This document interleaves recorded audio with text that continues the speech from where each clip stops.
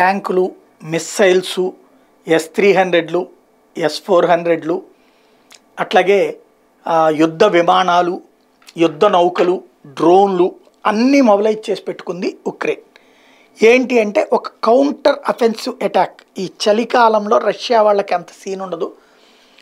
Crimea ప్రాంతం మొత్తాన్ని విముక్తి చేయడం. ఒకప్పుడు రెండు వేల పద్నాలుగులో రష్యా ఆక్రమించుకున్న ప్రాంతాన్ని తిరిగి స్వాధీనం చేసుకోవడం ద్వారా రష్యా మా దగ్గర నుండి ఇప్పుడు మేము బలం తక్కువ ఉన్నప్పుడు నువ్వు స్వాధీనం చేసుకుంటే మళ్ళీ మేము యుద్ధం చేసి నీ దగ్గర నుంచి లాక్కోగలమన్న సంకేతం ఇవ్వాలన్నటువంటిది ఉక్రెయిన్ అధ్యక్షుడు ఉద్దేశం.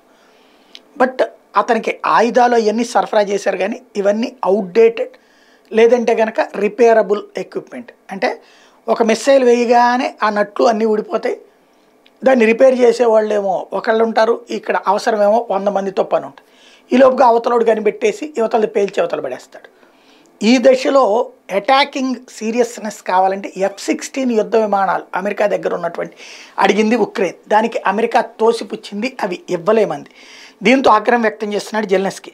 Despite the absence of F sixteen fighter jets from the West Ukraine president Vladimir Zelensky said that Ukraine will still launch its anticipated counter offensive in its ongoing conflict with Russia Zelensky has often urged his Western partners to supply fighter jets to uh, so that his military might gain an advantage over the Russian military in the air.